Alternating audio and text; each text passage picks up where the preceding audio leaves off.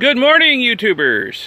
Well, I'm back from all my travels. Been gone for the better part of two months, so it's time to get back in the swing of things. I need to make some more nitric acid so I can uh, refine some more gold. So I am set up this fine morning to make some nitric acid with uh, my new and improved nitric acid production setup, and I'll walk you through it here in a minute. Um, it's good to be back. I was uh, I drove across country four times in two months, so I'm tired of driving, so hopefully I can fly next time. Went out to my place in Arizona, went out to our Wyoming ranch a couple times. Um, I'll put some links to my travels up here in the corner and in the description of the video. Um, uh, got an observatory at our Wyoming ranch. I spent a long time uh, working on that and got it up and running good. Um, we went fossil hunting in Nebraska, and that's always fun. We try to do that every year, and that was that was just a grand old time going fossil hunting in Nebraska. I, I love it. I wish I could do that all the time. So, back from my travels. First thing I did when I got back was repaint my workbench. It was way overdue for its annual repainting. So I've covered up all of the scorch marks, and the stains from spills and gouges and whatnot and it, and it looks good again. In fact, it looks so good, I decided I'm going to work on some cardboard today. I don't want to mess it up so soon in case I spill some of the nitric acid or some of the oil in the oil bath. Anyway, let me walk you through my setup. Um, what I'm doing a little differently these days is I have a two-neck, two-liter flask here. And what I found with with uh, making my nitric acid is with a two liter flask, I can get at least four charges of reactants in it um, and make a good deal of nitric acid. But the problem is I have to wait for it to cool down between putting charges in so I can take it apart so I don't get a huge cloud of nitrogen dioxide in the face and all. And it's like, ah, it's too much of a pain. So, and, of course the glassware is hot. It's all wrapped in aluminum foil. I have to undo that. I have to wear, you know, it's just getting to be a real pain. So I thought, well, I'll get a double neck flask. And when the first charge of reactant stops working, yeah, I'll get a little nitrogen dioxide out, but uh, um, I can just dump another charge in really easily and get the reaction going again. I don't have to wait for the oil to cool down and then heat up again. Um, and and we'll just keep this rolling. So it's the the flask is in an oil bath. Yeah, you really can't see the oil level down there in this lighting, but it's probably right about here. And I'm not going to put any more oil in it for now because my experience is as the oil heats up, it'll expand and the level will rise. And if I put too much in, it's going to overflow and get on the burner and get really smoky and nasty. So I'm going to keep it down here for now um, and see where it expands to. I may add a little more to it, but uh, I may not need to. We'll see. Now, the reason I'm using a two liter flask here is because even though I'm going to be adding the uh, reactants in small increments, it does tend to get foamy at a certain stage of the reaction. The reaction will start off slow, kind of build up, build up, build up, and then almost without warning, whoosh, it just takes off and it gets really foamy and I have found I need the big flask and small um, doses of reactants to uh, to make this work without it foaming out of the neck of the flask.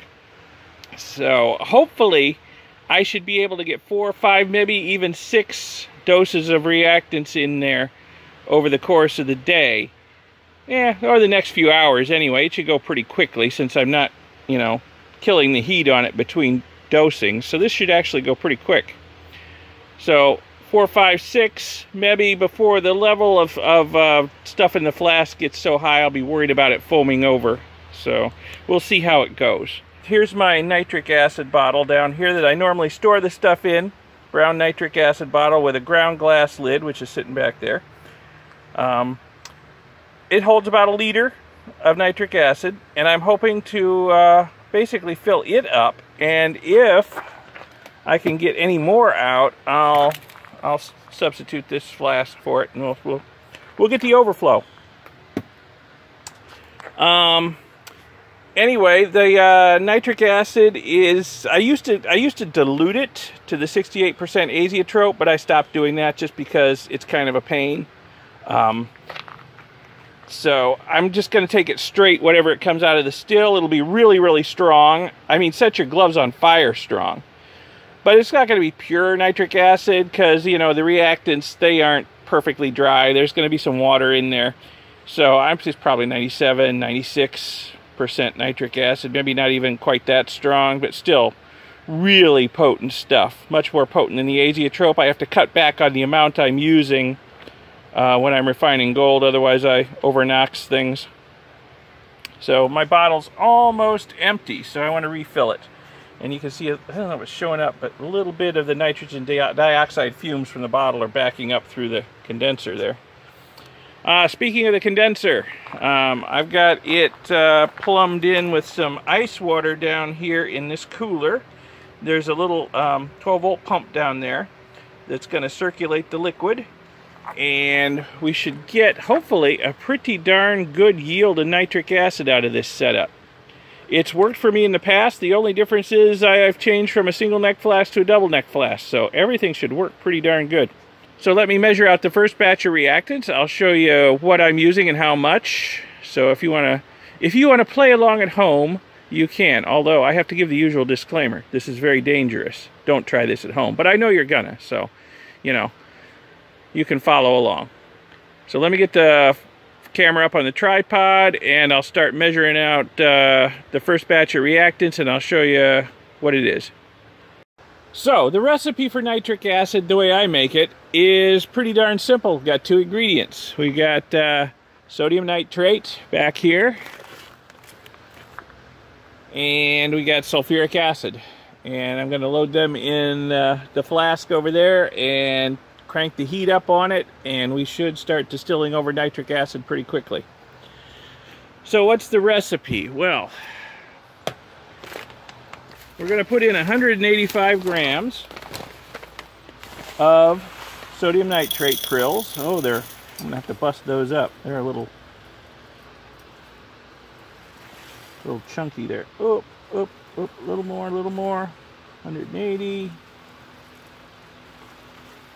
Oh, too much. Overshot. 200. The scale is not all that precise, but so 185 is what I wanted. I don't know if it'll, yeah. We can't decide between 180 and 190, so we'll call that a, we'll call that 185. What the heck? So 185 grams roughly. It's This is not, you know, doesn't have to be super accurate. 185 grams roughly of uh, sodium nitrate. And we close this up so it doesn't absorb a lot of moisture from the air. It's already kind of clumpy. Absorbs a lot of moisture. It'll get clumpier. And then, and then we want 100 milliliters of concentrated sulfuric acid. This is sulfuric acid drain opener. I buy it at the hardware store. It's also available lots of other places, at least in the U.S. I can't speak for other countries, but in the U.S. it's fairly common, easy to find. So I want 100 milliliters of this stuff.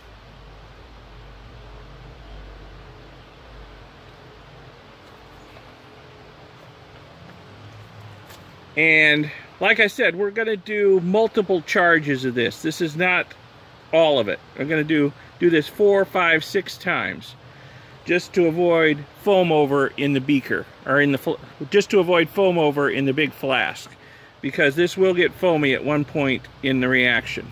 All right, let's see if we can get this stuff through the funnel. It's a little bit chunky. I've busted up the bigger chunks. Hopefully it won't clog the funnel.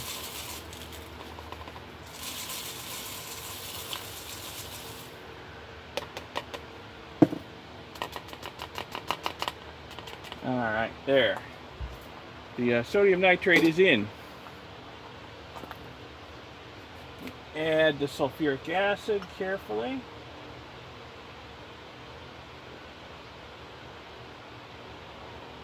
Sorry, my arm is probably blocking the view.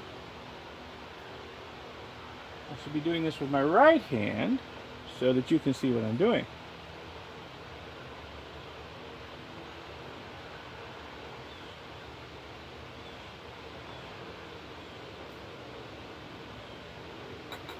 Sometimes I forget I'm on camera. Okay, so we're ready to go. I'm going to turn the heat on on my hot plate here, up to high. I'm not going to start the fluid flowing through the condenser yet. I've got some other things to do. I need to wrap all this in aluminum foil just to hold the heat in so we get uh, a better a better reaction because all this is you know exposed to the, the outside air and it's going to cool down there's going to be a whole lot of the, the the nitric acid that it forms is just going to reflux on the inside of the of the flask and up here and drip right back down in unless I can keep all this warm enough for it to come across as a vapor into the condenser. So I'm going to get this all wrapped with aluminum foil. I also need to uh, wash out this beaker since uh, it's it's like a little time bomb sitting there. You know, I'll grab it without thinking, but it's got it's got concentrated sulfuric acid residue in it. So I will do that and be right back. All right, I've got it all wrapped in aluminum foil loosely. I don't want it tightly wrapped. I want to form like a, a tent around it with an air gap that will hold in the heat coming up off the hot oil bath down there. I left myself a little peeky hole down here where I can see what's going on in the flask to see how badly it's foaming up. So I will be able to see if that's becoming a problem. And I'll just have to peel back this top layer to get at the uh, second neck to add the next uh, few batches of reactants. So I think that's that's gonna work pretty well. Uh, still got the thermometer poking out the top so I can see what temperature we're running at. And uh, let's see if I remember correctly the boiling point of nitric acid I think is 86 C so you know once we're running around there we're going to be producing you know, some good nitric acid. So, all right, let me get the, uh, get the pump running for the condenser. There we go. Beautiful. It's been a few minutes. Things are starting to heat up. You can start to see a reaction starting to take off inside the flask. I peeled some of the aluminum foil back to get a look. So we should be starting to see some nitric acid come over pretty soon. It's Got to warm up some more. The reaction's got to pick up steam. But uh, I put the aluminum foil back on and let it continue warming up. I am starting to see the first drops of nitric acid come over. There, yeah, got some brown fumage forming up here in the top of the condenser. Yeah, I can see liquid condense.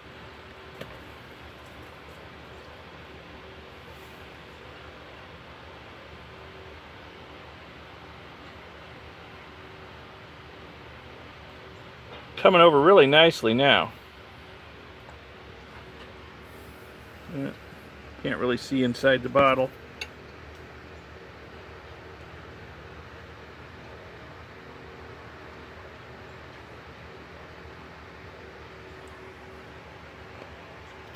That's nice.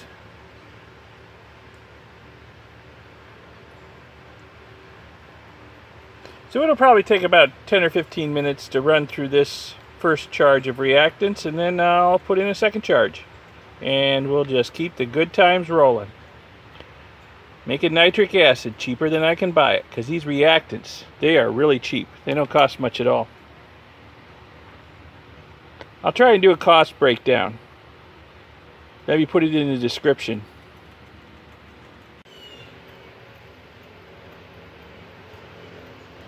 Well, it's not showing up on the camera very well, but I'm looking through my little peeky hole into the uh, into the flask and uh,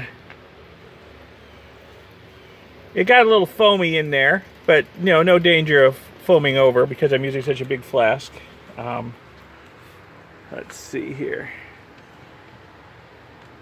Thermometer is gonna show up.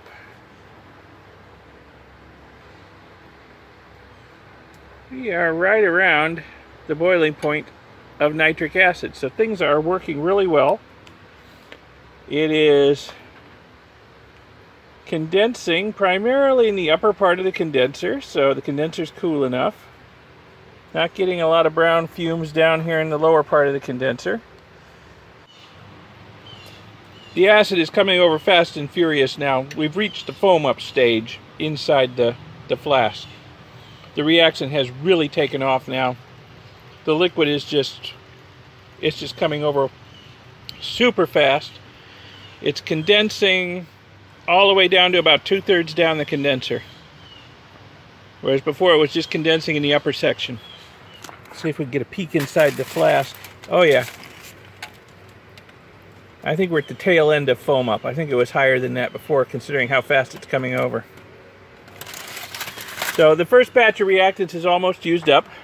Once the foamage, once the happens, we're getting close to the end and as you can see it's already starting to slow down. It'll uh, slow down pretty precipitously here in a little bit and then uh, once it does it'll be time to add the second batch of reactants.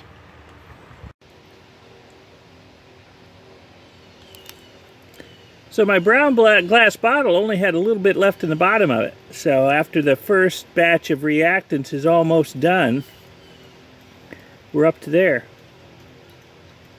So that's pretty good. It's uh, not quite a quarter full now.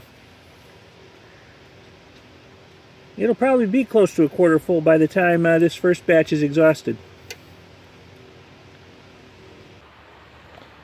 Well, the rate that the drops is coming across has slowed down quite a bit. The temperature, if I can get it to show up again, come on, has risen above 100 C. So that first batch of reactants is pretty much done.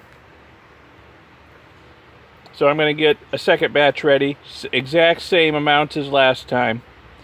And um, we'll put it in through the, the side neck of the flask. Okay, here goes the next batch of reactants. We'll see how uh, how this goes. Probably get some uh, nitro nitrogen dioxide fumes out the side arm, but it doesn't look too bad in there actually. I will stand way back as I open this up. Now that uh,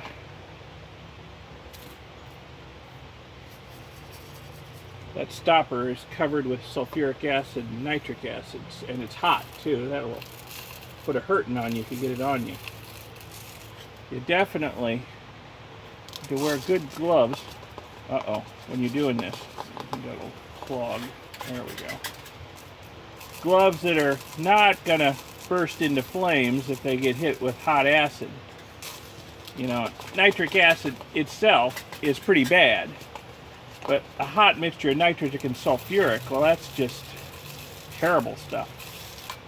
Okay, there we go. Kept clogging up, so I had to pour it in pretty slowly, but it's all in. Here goes the acid. I'm going to pour it in slowly too because the glassware is hot, the acid's cold. I don't want to crack anything.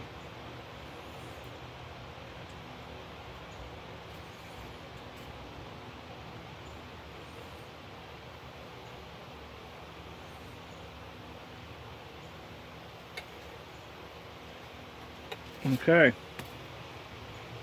Stop it up. Put the, uh, oh, it's already bubbling pretty hard in there. I don't know if that's showing up. Let me grab the camera and get it a little closer. Yeah, the reaction's starting up again. Nice. All right, let me get the aluminum foil back on and we should start getting some more uh, acid coming over pretty darn quick. Well, it's been maybe two, three minutes since I filmed that last segment. Just enough time to get the aluminum foil back on and clean out the acid beaker and dry it. And got a whole lot, it's coming over across really fast again. Whole lot of acid coming over. Nice. Everything's nice and hot, so uh, it took off again really quickly. And the thermometer Boy, it's really hard to see. It doesn't want to focus on it. It doesn't want to... Well, take my word for it. The thermometer's back down to uh, the boiling point of nitric acid. So everything is just working swimmingly. So I'm just going to keep this up uh, the rest of the morning.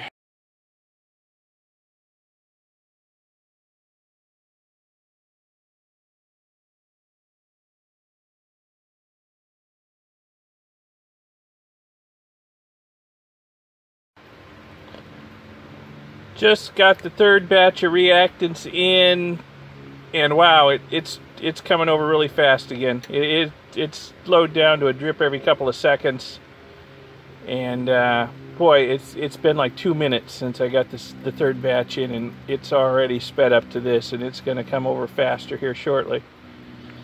So we're doing good. This is going pretty quick not having to uh, let things cool down a little between uh, putting in batches of reactants, you know, and then having to wait for it to heat up again. That's that's really speeding things up. Love this new double neck uh, boiling flask.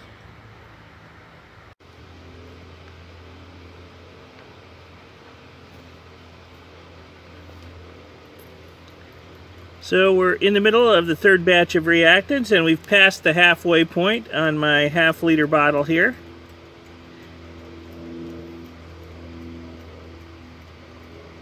Fact, I think we're quite a ways past halfway. I don't want to fill it too high. Got to leave a little airspace in there. So the next batch may be it for this. We'll see. Fourth batch of reactants is in.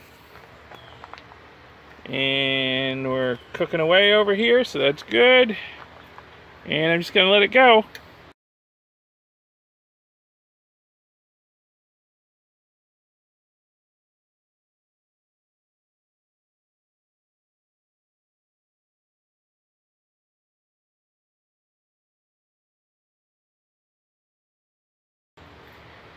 So, you know, I can uh, just let this go and come back and check on it periodically, see what the temperature is, see how much, how fast the drops are coming over. Well, they're picking up speed here. And, uh, you know, when the temperature goes up and the drops slow down, it's just time to put in another batch. Um, I'm keeping an eye on the level of stuff in the flask, and it's not too bad yet. I'll give you a peek probably the next time I put stuff in. I just wrapped some more aluminum foil around it to keep the heat in, so I'm not going to unwrap it right now.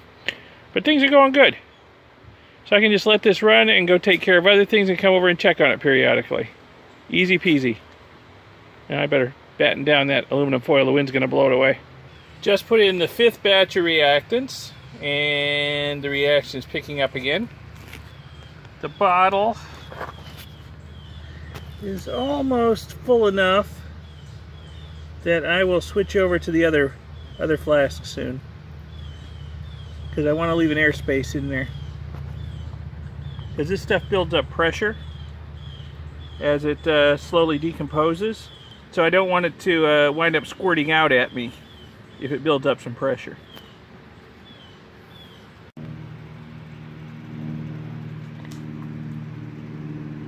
Alright, we're getting towards the end of the fifth batch of reactants. I normally don't like to fill the bottle higher than where it starts to round over up here. And I'm calling that half a liter.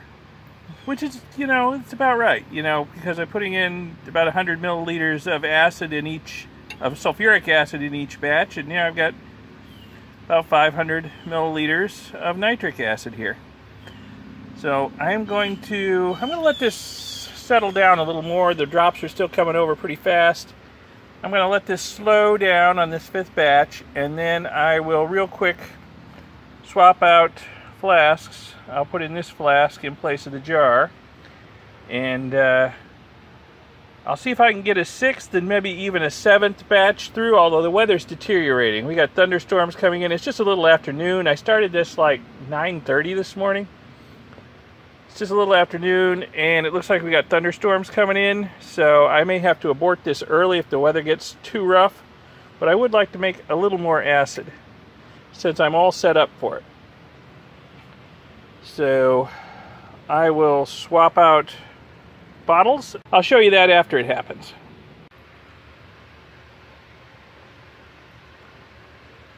sixth batch of reactants is in.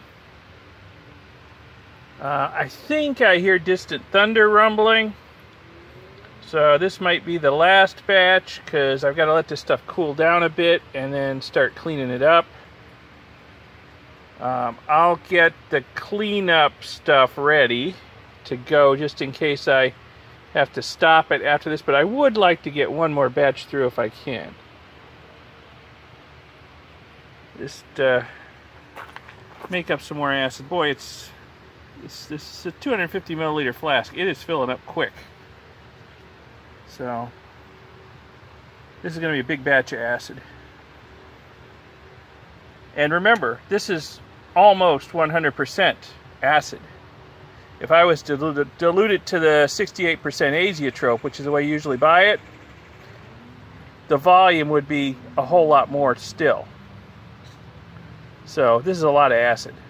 So we're coming to the end of the sixth batch of reactants. Got a lot of acid out of that batch. Um, there's still some reaction going on. Acid's still coming across. Yeah, slowing down quite a bit. So the question is, can I get another batch in there? Number one, without foaming up into the necks of the flask, and number two, before the thunderstorms arrive. Well, I just looked at the weather radar, and the thunderstorms are probably hour, an hour and a half away. So I think I'm going to go for it. I think I'm going to do one more batch and then just cook this until it basically stops producing and then call it and uh, start the cleanup. I've, I've already got my uh, tub of cleanup water over here. It's got a lot of uh, um, a lot of baking soda dissolved in it. So I will just, you know, glove up really well and carefully disassemble the glassware and dump it all in here so that the acid will be neutralized. And then once the big beaker cools down enough, I will pour this liquid, after I get all the glassware out of it, of course, I will pour this liquid in the big beaker. Once it cools down enough, I can do it without worrying about cracking it or having a steam explosion. And it will neutralize the slug of sodium bisulfate that's forming in the bottom of that beaker and dissolve it. And I have found that's the best way to get it out of the beaker. And it's, it's fairly quick and easy. So I am gonna I'm gonna risk it. I'm gonna do one more batch of reactants and then call it and start cleaning up once uh, once it stops producing acid.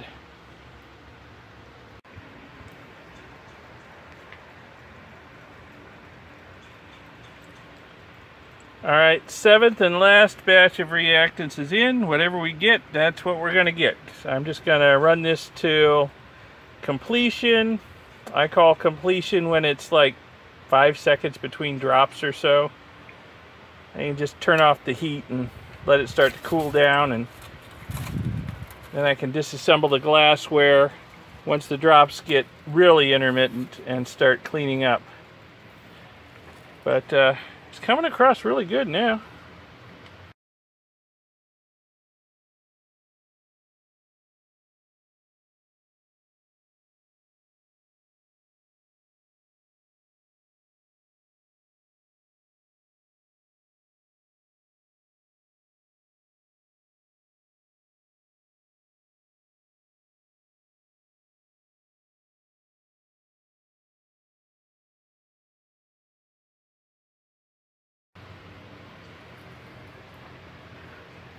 This is going to make a lot of acid. I think we're going to have close to three quarters of a liter of nearly straight nitric acid. So that's a lot of acid. That'll last me for quite a while the way I use it. So this is uh, great for not not bad for a morning part of a morning's and part of an afternoon's work. Even if thunderstorms weren't coming, this was going to have to be the last batch anyway because uh, all my ice has melted. And the water, oh, it's still pretty darn cold, but it's going to start warming up here. So extracting a lot of heat from the stuff in that condenser. So uh, I'm going to start losing efficiency in the condenser. So this is definitely going to be the last batch.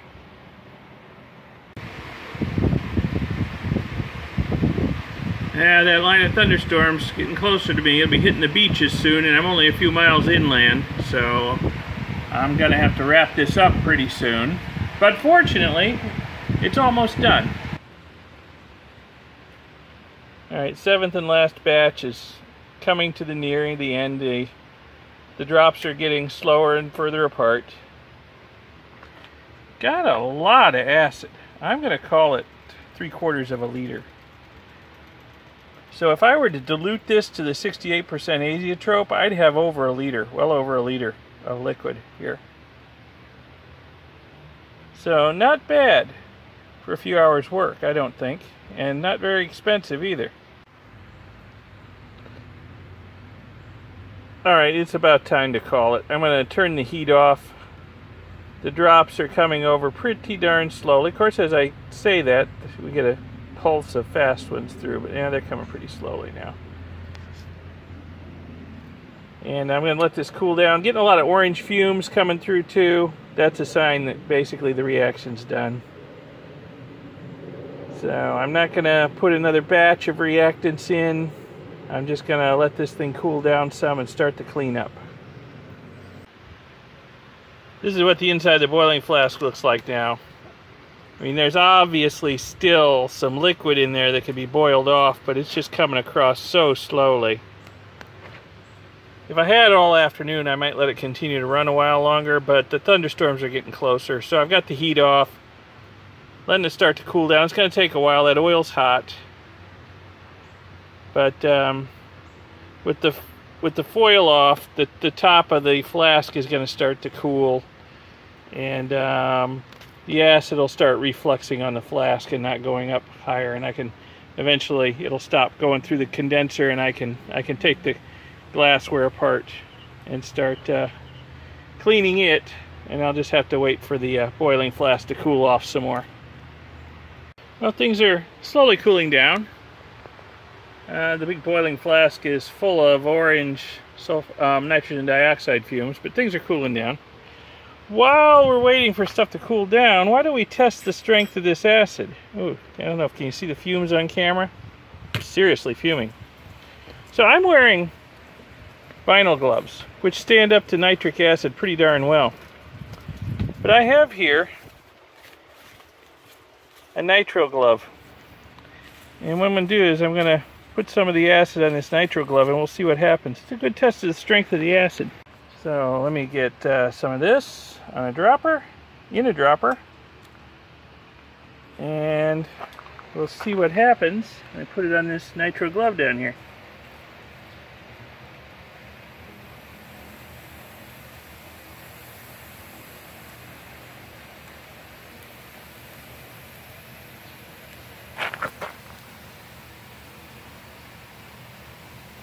I've certainly, oh, there we go. I was going to say, I've certainly seen more vigorous reactions, but there, finally, it burst into flames. So that's some, that's some pretty strong acid. Ooh, that stinks. Okay, so that's sufficiently strong acid. That's my test of the acid. If it'll uh, set a nitrile glove aflame it's strong acid. So I'm happy with that. So I've got like three quarters of a liter of highly concentrated red fuming nitric acid. Excellent. And if I were to dilute this down to, say, the 68% azeotrope, which is basically what you usually buy when you're buying concentrated nitric acid, I'd have well over a liter, like about 1.1 liters of this stuff. And so let's see, a liter of nitric acid costs me retail about 90 bucks, a little under 90 bucks, 85 to 90, depending.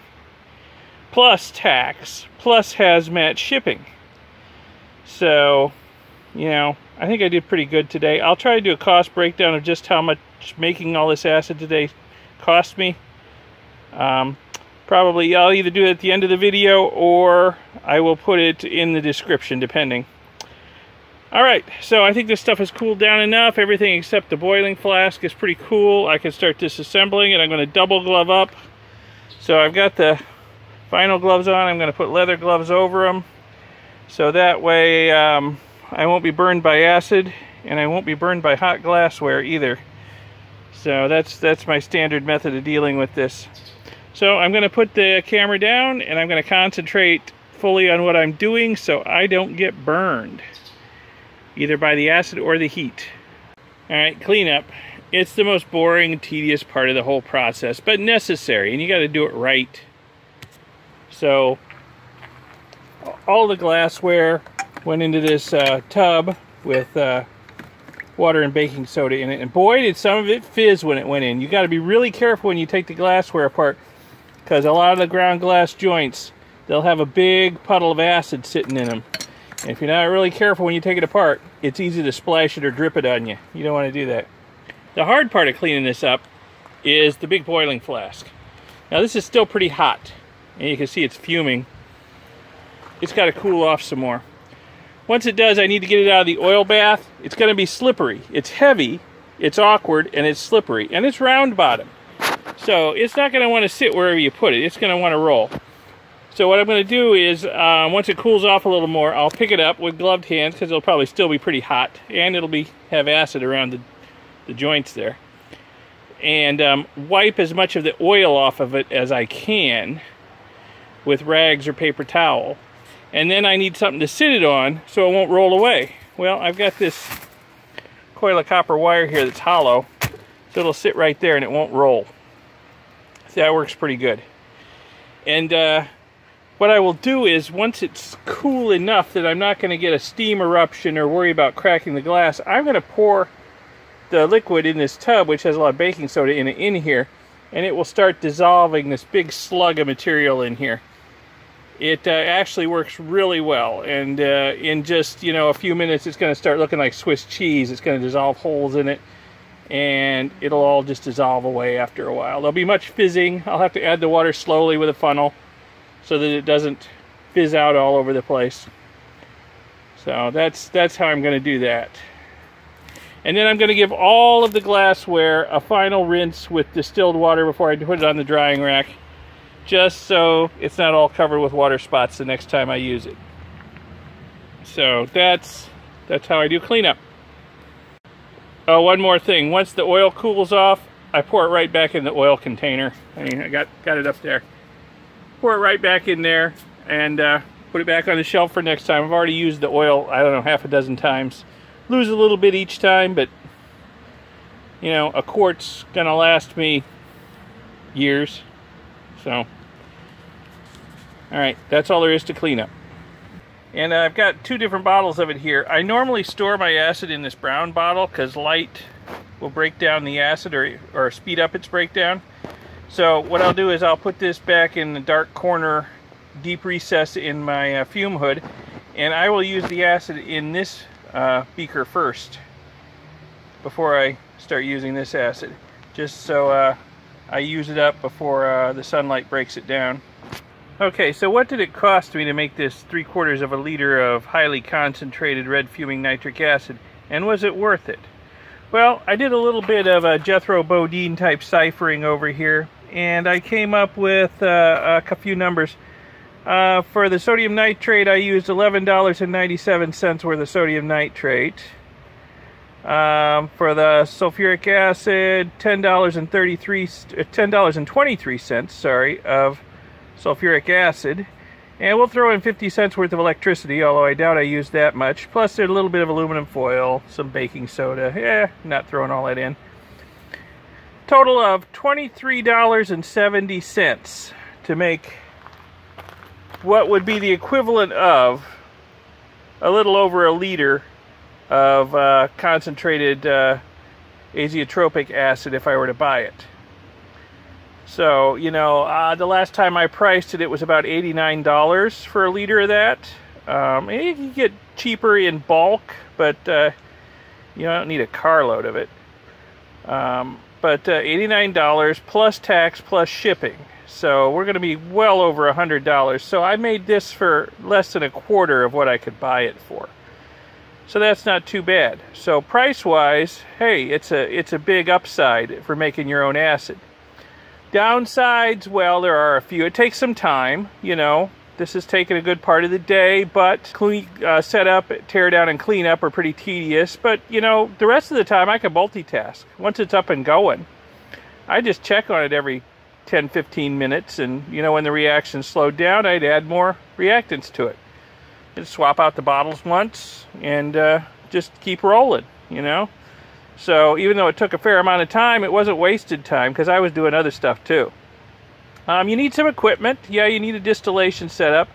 Uh, my very first video on making nitric acid, I talk about buying the distillation setup. It was cheap. It was less than what one liter of nitric acid would have cost me back then.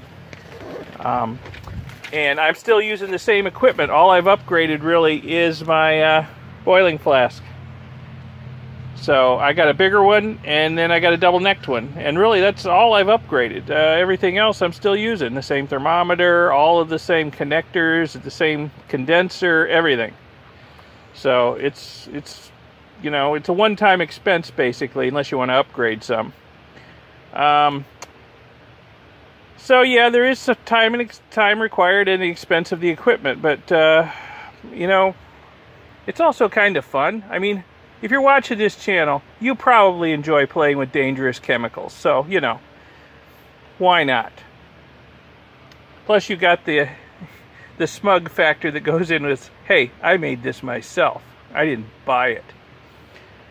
But uh, the process could be scaled up further. You know, if you want to make a lot of acid in a shorter time or make just make a lot of acid in the same time, you could scale it up. I mean, a much bigger boiling flask. Um, if you could uh, either get a, a, a, big heating mantle or a bigger oil bath or a big sand bath or whatever to heat it, you could go with a three, four, six, whatever liter boiling flask and just crank out the acid by the liter all day long if you wanted to. Uh, I don't need that much acid, so I mean, like this is going to last me for months probably. I do have a couple of projects in mind that'll use a lot of acid, but most of the time I just use it for refining gold, and I don't need a whole lot for that. So, $23.70 for this much acid, I'm happy. Anyway, thanks for watching. If you found this interesting or, or helpful, you know, give the video a like. Um, Feel free to subscribe to see future videos. Uh, this acid's going to get used in some interesting stuff. You don't want to miss it. Uh, and I've got some other videos, you know, coming down the line too.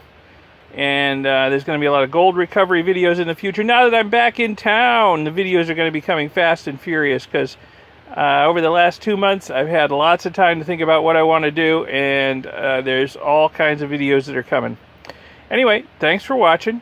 Keep it safe out there and I'll see you next time. Bye.